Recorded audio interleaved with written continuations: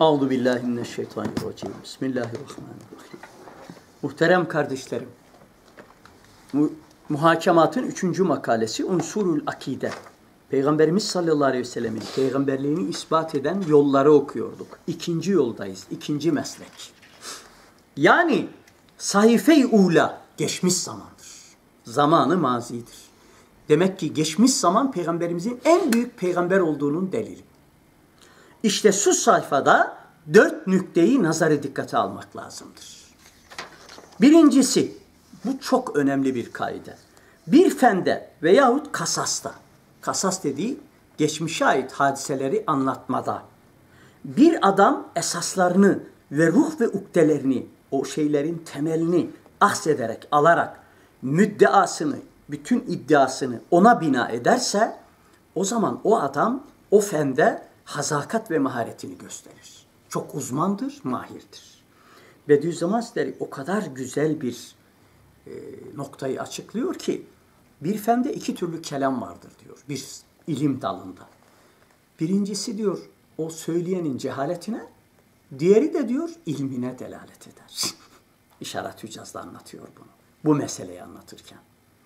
Nasıl mesela? Ben mesela Ahmet Akgündüz İslam hukukunda biraz mürekkep yalamış olabilirim. Ama anatomi hakkında bir cümle söylesem hemen ilgili profesörler benim her kelimede hata yaptığımı görecekler. Cehaletime delalet edecek. Ama bir anatomi profesörü bir cümle söylese o adamın o konuda nasıl büyük bir profesör olduğunun ispatı olacak. Şimdi Resulullah da öyle. Yani وَمَا kunte diye okur musun? Hazreti yani eyyuhum yekfulu Meryem. Sen, burası çok önemli bir hadise. Bakın Resulullah sallallahu aleyhi ve sellem kıssaları naklederken öyle acip noktaları e, naklediyor ki yani o dönemde yaşamayanın onu bilmesi mümkün değil. Belli ki gaybtan geliyor haber. Kur'an-ı Kerim bunu anlatıyor. Diyor وَمَا كُنْتَ لَدَيْهِمْ Sen onların yanında değildin. İz yahtasimun. İz yahtasimun. Yani biliyorsun yani kim Meryem'i üstlenecek? Tartışmışlar. Hazreti Zekeriya'nın huzurunda. O da var. Sonra şey atmışlar. Ne derler Kura, ona? Kura, He? kura çekmişler. Kura çekmişler. Bu o kadar gizli bir hadise ki Hazreti yani İsa Aleyhisselam'la alakalı kıssanın en can alıcı noktası bu. Hristiyanlar bile bilmez. Çünkü orada olanların dışında kimse bilmez bunu. Eğer bundan haber veriyorsa Kur'an-ı Kerim demek ki bu zat hazakatini ve maharetini gösteriyor. Bir örnek bu. Çok önemli bu. Gelelim ikincisi. Ey birader, eğer tabiatı beşere arif isen, insanoğlunun yaratılışına vakıfsan, küçük bir haysiyetle, küçük bir davada, küçük bir kavimde, az bir topluluk içinde, küçük bir hilafın, yani yalanın serbestiyetle irtikab olunmadığını, insanların içinde kolay kolay yalan söylemek mümkün değil. Bir muhtar bile yalan söylemeye çekinir. Aman benim muhtarlığıma zarar gelmesin diye. Olunmadığına nazar edersen, böyle bakarsan, e şimdi bir de Resulullah'ı düşün. Gayet büyük bir hasiyetle. Rabbül Alemin'in peygamberi sıfatıyla. Nihayet cesim bir davada.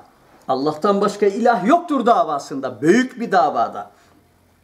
Hasra gelmeyen bir kabimde. Bütün insanlığa sayıya gelmeyen millet içinde hadsiz bir inada karşı her cihetten ümmiliğiyle beraber okuma yazma bile bilmediğine rağmen hiçbir cihetle akıl müstakil olmayan meselelerde yani aklın tek başına anlayamayacağı meselelerde misal verdik işte.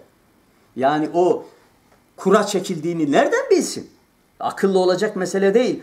Tam serbestiyetle bila perva, pervasız ve kemali visuk ile söylediklerine tam güvenerek ala ruusil eşhad şahitlerin gözü önünde zikir ve nakilden güneş gibi sıtkın doğruluğun tulu edeceğini göreceksin, doğacağını göreceksin.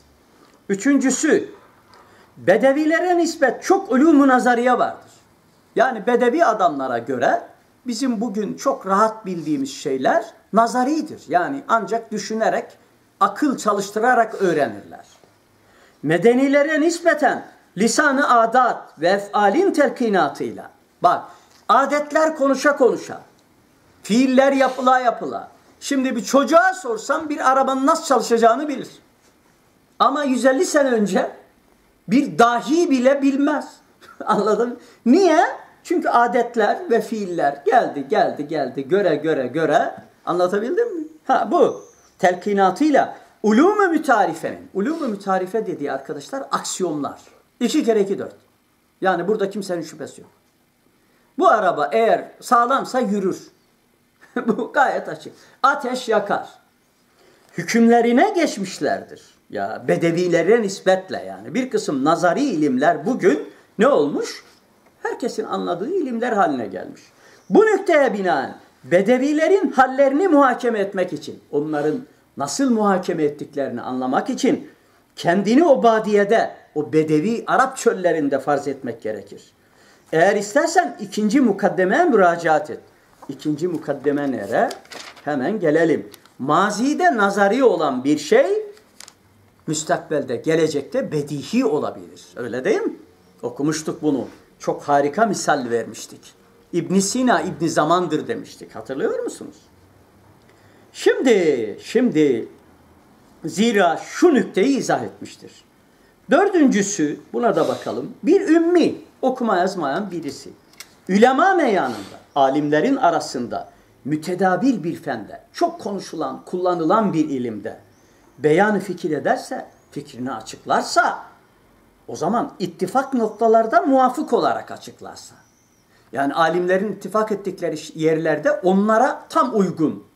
Ama muhtelefün fiha olan noktalarda, ihtilaf edilen noktalarda ise onlara muhalefet edip yani alimlere musakkihane onları düzelterek söylemesi onun teferrukunu o zaman o alimlerden çok üstün olduğunu ve kisbi olmadığını, o ilmi kazanarak elde etmediğini, vehbi, Allah'ın ihsanı olduğunu, vahye dayandığını ispat eder. İşte şu nüktelere binaen deriz ki, Resul-i Ekrem aleyhissalatü vesselam malum olan ümmiyetiyle beraber okuma yazma bilmiyor. Kur'an-ı Kerim bunu anlatıyor. Okusana ayet-i kerimi. Tahuttuhu biyeminik.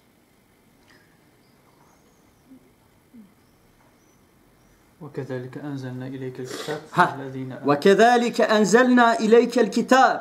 Biz sana bu kitabı indirdik Kur'an-ı Kerim'i. فالذين آتيناهم الكتاب يؤمنون به Yani kendilerine kitap verdiklerimiz iman ederler Müslümanlar. ومن هؤلاء من يؤمن به Bazılarında bir karıştırdın herhalde. Pek uygun düşmedi. Neyse boş ver. Yani sen diyor yani kunte la tahuttuhu biyeminik yani. Sen elini kullanıp yazı bile bilmiyordun ya. Ama sana öğrettik. Çok güzel bir ayet. Orayı bir bulsak neyse. Boş ver yeter. Ama orayı okuyun lütfen. Malum olan ümmiyetiyle beraber yani ümmi olmakla beraber güya buldum hocam. ha bulduysan oku. Ben bir önceki ayeti okumuşum. Ha ha bir daha böyle doğru hafız ol. Hadi bakalım. وَمَا كُنْتَ تَتْلُو مِنْ قَبْلِهِ Sen Kur'an gelmeden önce okuma yazma bilmezdin. Okuma bilmezdin. مِنْ كِتَابٍ وَلَا تَخُطُّهُ بِيَمِينِكَ Yani herhangi bir kitabı okumazdın. Elinle yazamazdın da. Yazın da yoktu, okuman da yoktu. İzen lertabel mubtilu. Yani böyle olsa anlatabildim mi? Batıla giden insanlar şüphe edebilirdi. Ama böyle değil ki. Harika bir ayet bu. Yaşa. Ayetler gelince nurlanıyor biliyor musun cümleler? Şu nüktelere binaen deriz ki resul Ekrem aleyhissalatü vesselam malum olan ümmiyetiyle beraber güya gayri mukayyed olan, hiç kayıt altına alınamayan ruhu cevvale ile her tarafı dolaşabilen ruhla tayyi zaman ederek, zamanı aşarak ta Hazreti İsa'nın kime verileceğine dair aralarında Kur'a ve müzakere yürüyen o Hristiyan Yahudilerin yanında bulunmuş gibi. Anladınız değil mi manayı? Ha.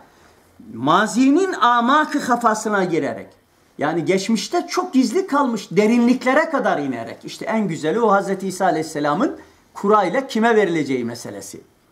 Hazır ve müşahit gibi sanki oradaymış gibi Enbiya-i Salife'nin ahvallerini yani geçmiş peygamberlerin hallerini örnek hangisi? Araf suresi. Örnek hangisi? Kasas suresi. Örnek hangisi? Şuara suresi. Hep bunlar var. ve esrarlarını, gizli sırlarını teşhir etmesiyle, açıklamasıyla bütün enzar aleme karşı. Öyle bir kişiye değil, alemdeki herkesin nazarlarına, akıllarına karşı öyle bir davayı azimede, büyük dava, La ilahe illallah Muhammedur Resulullah davasında ki bütün eskiyay alemin nazarlarını, alemde zekilerin nazarlarını dikkatini çekiyor. Yahudilerin, Hristiyanların, dinsizlerin, müşriklerin dikkatte celbeder. Bila perva, pervasız ve nihayet vüsuk ile kendine güvenerek müddeasına, davasına mukaddeme olarak o esrar, peygamberlerle ilgili gizli sırlar ve ahvalin yani peygamberlerin başına gelen hallerin ukad ve hayatileri hükmünde olan çok böyle hay, hay, yani hayati düğüm noktaları olan hassas noktalar. Hristiyanlar bile bilmiyor bu inceliği Kur'an'ın anlattığını. Esaslarını zikretmekle beraber kütüb-ü salifenin geçmiş kitaplarında, mukaddes kitapların ittifak noktalarında musaddık ne yapıyor? Tasdik ediyor. Keşke bir ayet de bunu okusan. Çok ayet var bu konuda. Musaddikan lima beynehum وَقَفَّيْنَا عَلَى آثَارٍ بِعِيسَى بْنِ مَرْيَمَ مُصَدِّقًا لِمَا بَيْنَ Yok يَدَيْهِ o Hazreti İsa Aleyhisselam. Ulan İsa Aleyhisselam'la Hazreti Muhammed'i karıştırdın ya sen de. Ulan nasıl hafızlık bu? Alim hafız olacaksın. Resulullah'la alakalı, Kur'an-ı Kerim'le alakalı var. Neyse herhalde sureyi e, Nisa'nın son sondan bir önceki e, sayfasında. Neyse boş ver. Yani Peygamberimizin Kur'an'la veya hadisleriyle getirdiği şeyler bütün eski kitapların ittifak ettikleri noktalarda onları tasdik ediyor. Musaddikan lima beynehum diyor ayet-i kerime. Sure-i Bakara'da da var. Ha. Ve ihtilaf noktalarında ama ihtilaf ettiği noktalarda musahhih olarak onları tasfiye ediyor, yanlışlarını düzeltiyor. Kasas peygamberlere ait hadiseler ve ahval-i enbiyayı, halleri bize hikaye etmesi, anlatması sıdk ve nübüvvetini intihac eder. Doğru olduğunu, peygamber olduğunu. Çünkü beşer aklıyla bunlara ulaşılmaz. Teznip, bu kuyruklama demek. Yani ne demek buna? Ek diyorlar ya günümüzde. Ek. Haşiye veya. Cemi enbiyanın çok önemli bir delil. Ezberleyin bu cümleyi. Cemi enbiyanın delail-i nübüvvetleri, bütün peygamberlere ait peygamber olduklarına dair delilleri, mucizeleri sıdkı Muhammed Aleyhisselatü Vesselam'a da delildir. Peygamberimizin doğruluğuna. Neden? Bin mucizesi içinde bütün peygamberlerin mucize çeşitleri vardır. Ve cemi mucizatları, bütün mucizeleri Muhammed Aleyhisselam'ın bir mucize-i maneviyesidir Aleyhisselatü Vesselam. Bunda dikkat edersen anlayacaksın. Dikkat edersen dediği şu, incele bin mucizesini, bütün peygamberlere gelen mucizeler hepsi o çeşitten Resulullah'ta da var. 19. mektupta bunu açıklıyor. İşaret. Ey birader bazen kasem bir şeye yemin etmek bürhanın yerini tutar. Delil gibidir. Çünkü kesin olmadan yemin etmezsin. Zira bürhanı tazammun eder. Öyleyse bak kendisi kullanıyor. Vellezî o peygamber ki Resulullah'ı kastediyor. Kassa aleyhil kasasa bil hisasi yani değişik hikmet ve hisseler almak için peygamberlere ait bütün kıssaları anlatmış. Ve seyyere ruhahu ve onun cevval ruhunu gezdirmiş. Veya bu Allah'a yemin. Yanlış söyledik özür dilerim. Vellezî o Allah'a yemin ederim ki kassa aleyhil kasasa lil hisasi Kur'an-ı Kerim'de değişik hikmetler ve hissetler hisseler hisse almak için bütün peygamber kıssalarını o peygamberine anlatmış. Ve seyyere ruhahu onun cevval olan ruhunu gezdirmiş. Fi a'makil madi geçmişin bütün derinliklerinde. Ve fi şevaikil müstakbeli geleceğin bütün zirvelerinde. Fekeşefe lehul esrara bütün sırları ona açmış. Min zevayel vakiati geçmişte meydana gelen olayların en ayrıntılarına kadar. İnnen işte o zaman inne nazarahu nekkade Allah Allah böyle bir peygamberin veya Allah'ın herhalde bence şey peygamber burada bu kadar yani sağlam şeyleri ortaya koyan nazarı nekkat tenkitçi demek. Tenkit demek kötüyü iyiden ayıran o manada. Altını e, topraktan ayıran, onun bu yani iyiyi kötüden, güzeli çirkinden ayıran nazarı edakku min en yüdellese aleyhi. Ona yanlışlar verilmekten çok incedir. Yani o yanıltılamaz. Tedlis yanıltmak biliyorsun. Ve meslekehul hakka. Tamam peygamberimize gidiyor bu. Onun doğru olan mesleği yani İslamiyet. Agna min en yüdellise alen nasi. İnsanlara yalanı söylemekten ve onları aldatmaktan çok yücedir, müstahnidir. Evet, neam.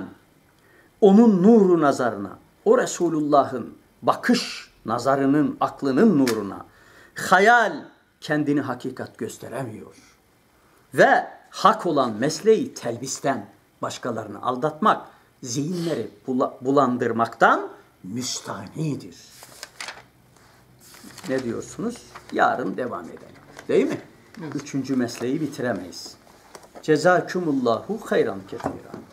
Ve allemenallahu ilmen nafi'a. El Fatiha.